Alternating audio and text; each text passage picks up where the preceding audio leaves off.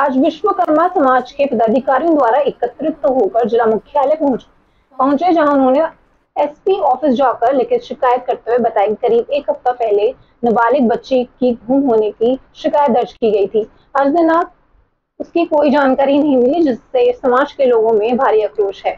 समाज के पदाधिकारियों द्वारा बनाया गया अगर जल्द से जल्द पुलिस प्रशासन नहीं कार्रवाई करती तो हम थाने का घेराव और चक्का जाम करेंगे, जिसकी ज़िम्मेदारी पुलिस प्रशासन की होगी।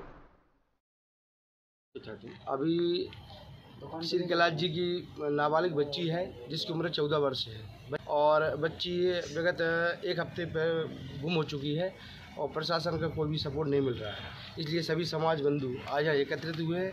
माननीय एस पी महोदय को और कलेक्टर सबको ज्ञापन देंगे और अपनी बात रखेंगे कि तीन दिन के अंदर हमारी बच्ची हमारे पास उपलब्ध हो।